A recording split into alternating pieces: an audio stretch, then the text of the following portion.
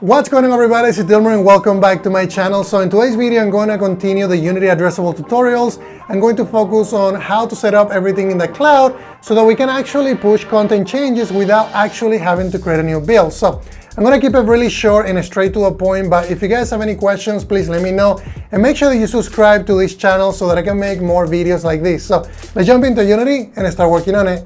Alright guys, so today we're going to be continuing the addressables tutorials and I'm going to go ahead and hit play and show you what we have so far.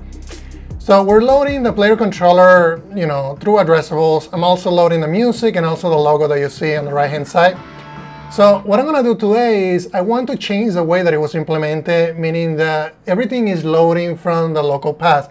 And if I were to open the addressable groups, and again, you go into Windows and then Asset Management, Addressable Groups, you're gonna see that we have this playground level, and as soon as you click on that, it's gonna show you a couple settings in here that we need to change. Right now, everything is getting built by using the local, local build path and also the local load path, which means that when you build this package in here, if you click in build, and then new build, this is gonna basically build everything, you know, by using the local local path. We wanna change that because we're gonna use the cloud. So what I'm going to do is I'm going to change this to remote build path. I also want to change the load path to be remote load path. If you go into advanced options, you're going to have different options in here. If you want to do you know, different compression, if you want to include it in the build, if you want to force basically different settings in here that I haven't really tried just yet, but you can, you know, you can play with. The other thing that you want to make sure is this update restriction needs to be set to can change post-release. And then once you do that, we're gonna be able to basically load these from the from different path, which is gonna be in the cloud. So if you go in here and click on the addressable asset settings, there's a couple more settings that we need to look at. You can access it by looking at this folder, or you can also, I believe, you can also go in here and inspect system settings. It's gonna open it up as well. And there's a couple of settings in here, and profile in use is gonna be the profile that we're gonna be using in order for us to load different settings. And I'm going to show you how we can change that. But the other things that we need to change in here, we're going to be doing building a remote catalog. So make sure that you do that. And I'm also going to be using the remote, remote build path in here and also the remote load path in here. That way, you know, when this gets built, this catalog gets built, we're going to be using a remote catalog, which is, you know, the whole beauty about using addressables. And then these are some additional settings I don't need to change right now. Let's click on Manage Profiles. In here, we're going to be setting the remote build path is fine to be ser server data because there's really no, it's, it's not going to be where we're going to be loading it remotely, but it's going to be where things are going to be built locally so that we can use it on the remote, on the remote cloud server. So this is going to be changed, right? But before we do that, we need to go ahead and I'm going to use DigitalOcean. You can use AWS, you can use Azure, you can use Google, and there's different, you know, different ways. And I have already a spacing here that I created. I'm going to create a brand new one so you guys can see how easy this is. But if you go in here, you can go ahead and click on click on create a new space. And I'm not associated with DigitalOcean whatsoever. I just want, wanted to pick one, you know, that I that I'm comfortable with. So I'm gonna set up this new space in New York and I can also enable CDN. This is good because it's going to be smart enough to offer basically your level data to you know the closest proximity to the person that is trying to play your game. So if you're if the person is playing a game in New York, it's going to you know it's going to make it faster because it's going to use servers in New York.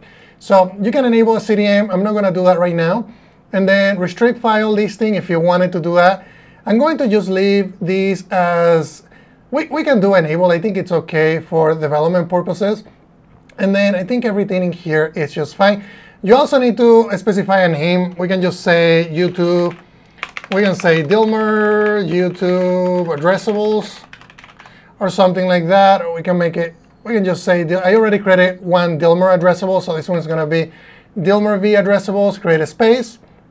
And then once you do that, it's going to give you a URL. And this URL is really important because that's what we're going to need to, you know, to basically tell Unity where the assets are going to be loaded from. So just make sure that this is going to, I'm just going to go ahead and copy it right now because we're going to need it. And then settings in here, if you want to do file listing, if you want to enable CDNs, and then other settings, you can do that as well. I'm going to leave that as it is. And then in here, I'm just going to go ahead and do localhost and make sure that I replace this And I think everything in here is good. Okay, so let's go ahead and close out of this. Okay, now that we have that added, now we can basically do a new build. And that build is going to create, um, you know, everything that we have in here, which is going to be bundle. It's going to be using asset bundles in a way with additional files that the addressable system uses. And if we do that, we go, we're going to go ahead and create a new build. And this is going to be a default build script. Let's go ahead and click on that. And this is going to be right into the server data folder that we were defining in here. You can see in here with my, my mouse on the right. And it says server data standalone Windows 64. And it's going to use the, basically the platform that you're trying to build to as a folder. And what I'm going to do is I'm going to go ahead and show an Explorer. You're going to see that it has these, if we go back one folder, it's outside, outside the assets and it's a server data. And this is going to be everything that we're going to need to basically put in our server. So if we go back into the server, I'm going to go ahead and make this a little smaller. I'm going to drag everything in here and drop it. And it's going to tell you, okay, you want these files to be private? We don't want them to be private because we want our players to be able to, you know, to be able to play the game. So I'm going to go ahead and do public. It's going to load everything, and we can just leave it loading while we do some other things in here. So the next thing that I'm going to do is I'm going to go into build settings, and I'm going to create a new build of this. And we can put it in the desktop. I normally create a builds folder, so we can just do builds.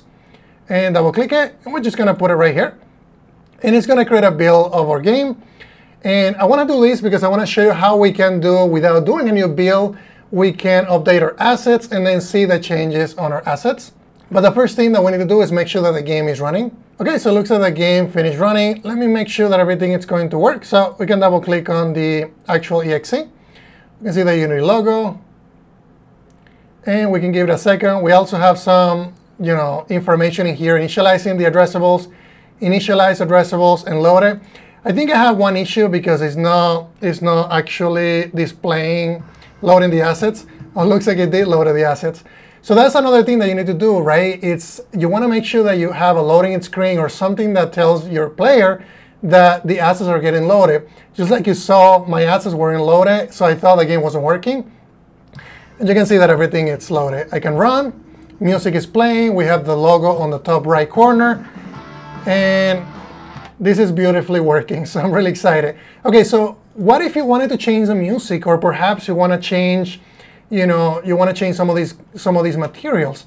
And that's the beauty about using addressables, right? They're in the cloud. And what I'm going to do is let's go ahead and add, I'm going to go into my prefabs here. And I'm going to drag and drop our guy or, or armature here so that I can see, I can make some changes to him. And what I'm going to do is I'm going to go into the materials here. And let's say that you have a new, a new 3D object that you want to add. In my case, I'm going to keep it simple.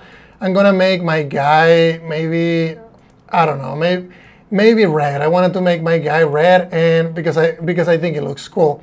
Or because your you know your designer decided to change the the color of that guy. So that's really all we need to do. What if we wanted to change the music, right? We have a music, an audio track in here, which is called the MP3. So we can go ahead and open up that folder. So this is really important. Just just keep in mind that I'm not going to change the name. I'm just going to keep the name the same, but I'm going to go into my folder in here, Dropbox, and I have some music already that I use for my videos. We can go into music, free music, and I can do perhaps this one. Yeah, let's go ahead and use that one. But what I'm going to do is I'm going to go ahead and clone this or copy and paste it. And I'm just going to call it track. And I'm going to go ahead and overwrite it. I'm going to go here and then replace it. And now what's happening is Unity is going to load it. The addressable system is going to say, OK, well, that file is the track, the track MP3. It's already being associated, but we need to create a new build. Because right now, this is going to it's going to look like it's going to work. And it's going to work in Unity because Unity got it. But if you want to update your players that already have a build, this is what you need to do. You're going to go into build. And instead of using a new build, make sure you don't do a new build. You're going to do an update, a previous build. And we're going to be using, you have to go into this weird folder in here and then select the addressable content state. This is going to allow us to update the previous build of content that we already created. I'm going to click on open. And if you go into that folder now, if we go into server data, there's actually going to be more files added to here. And you're going to see, see, a new file get added. So what I'm gonna do is I'm gonna go now into my cloud provider here. And instead of me deleting everything, because you don't wanna delete it, because if somebody's playing your game and you delete everything, your, their game is gonna, is gonna crash. So I'm gonna make sure that we update everything. I'm gonna set it to public. It's gonna tell you that some files already exist. That's fine, we can replace them. And now everything should be updated, including the new music, right? Okay, the other one's still uploading, so let's just wait. Okay, so everything, so just make sure that you upload everything, otherwise it's not gonna work. Okay, but I don't need to do a new build, right? Because I didn't make changes to anything in here. All I changed was content. So now if we go back into our previous build, if we go into my desktop and then go ahead and do build, the music should be different and also the color of the character should be different. If everything works, we can wait for the assets to get, remember, we need a loading screen, so we have our asset. So you can see that our character, you know, is now red. The music changed as well. You might not be able to tell, but if you fast, if you go back into the video where I loaded this, you can see that the music is different and also the, the player is different. And there we go. So that's everything that I wanted to show you guys. If you guys have any questions about these, let me know. And I'm gonna keep making more videos about Unity addressables because I think that's an area that lacks a lot of documentation. So make sure that you also subscribe because that's gonna help me in making more videos for you and also bringing you new types of video that are gonna help you in your own, you know, in your own adventure by creating games. Thank you very much, guys.